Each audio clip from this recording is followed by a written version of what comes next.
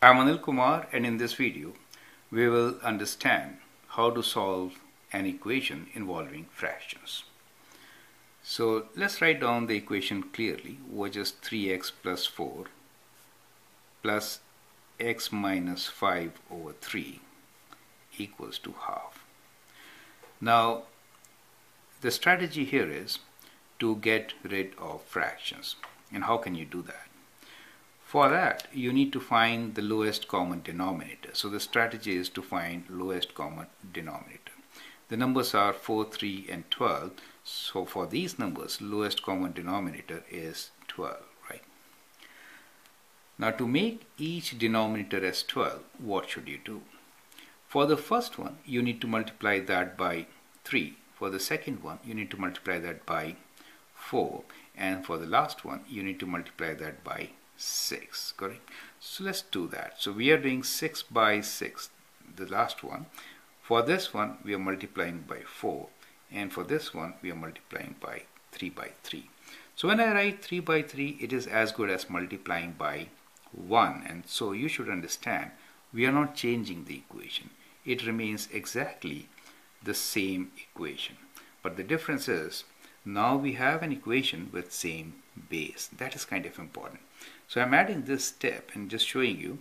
When you multiply you get 9x over 12 plus 4 times. Now don't just multiply x with 4 minus 5 should also be multiplied by 4 both should be multiplied. Over 12 is equal to 6 over 12 do you see that? So in doing so we get something which has the same base. As you know in fractions, if you have the same base, you can combine the numerators, right? Now, and now at this stage, what you can do is, you can multiply all these numbers by 12, right? So we can multiply all these numbers by 12. Now, if I do that, I'm doing the same operation in all the sides.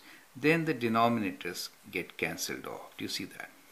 So effectively, we are left with the equation which could be written as 9x plus 4 times x minus 5 equals to 6.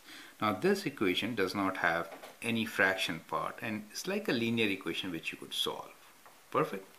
So that is how you should be solving uh, these equations with fractions. Well there are a few shortcuts that is I multiplied by 3 over 3, 4 over 4 and 6 over 6. Instead, we could have multiplied this equation itself by 12 and got the same result. So that is also fine. But my purpose of showing these steps is to make things very clear.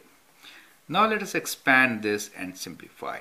So we have 9x plus 4 times x minus 4 times 5 is 20 equals to 6, correct? So we can bring all the terms to the same side and then solve. So let me rewrite this equation after combining 9x and 4x. So 9x plus 4x is 13x. We have 13x minus 20 equals to 6. Now we can add 20 on both the sides. So we get 13x. When you add 20 here, it becomes 0. So we get equals to 6 plus 20, right? So we have 13x equals to 26. We can divide by 13, so we get x equals to 26 over 13, which is equals to 2. So x equals to 2 is our solution, right? So we say solution is x equals to 2. It's always a good idea to check your solution, right? So at times you may be required to check in the question also. So to check, substitute 2 in the left side. So if you put 2 here, then what do you get? You get 2 times 3, which is 6. So what I'm trying to say is you can substitute 2 here, right? Plus 2 minus 5 over 3 and see what do you get.